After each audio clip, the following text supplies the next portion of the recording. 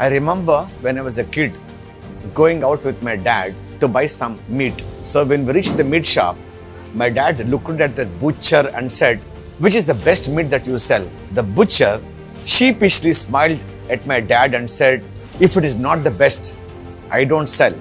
My dad was taken aback. And as we bought the meat, as we're walking back, my dad told me, Look at the confidence of the butcher. And that's one thing that is the key to become successful. Do what you may. You may sweep the roads. You may clean the clothes. You may sell the meat. You may be a lecturer. You may be a teacher.